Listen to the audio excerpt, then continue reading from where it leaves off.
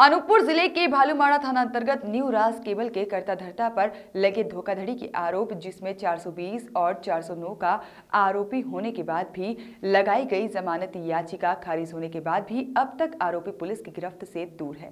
Police प्रशासन के मुताबिक अब तक आरोपी फरार है और पूरे क्षेत्र में एक ही फर्म के द्वारा अलग अलग नामों से बिल बांटकर पैसों की वसूली पूरे क्षेत्र में उपभोक्ताओं और सरकार को गुमराह करने की की जा रही है और एक कार्य किया जा रहा है। एक रसूखदार की गिरफ्तारी पर भालूमाड़ा पुलिस की इस प्रकार की हीला हवाली संदिग्ध है। आखिर गिरफ्तारी में देरी क्यों हो रही है?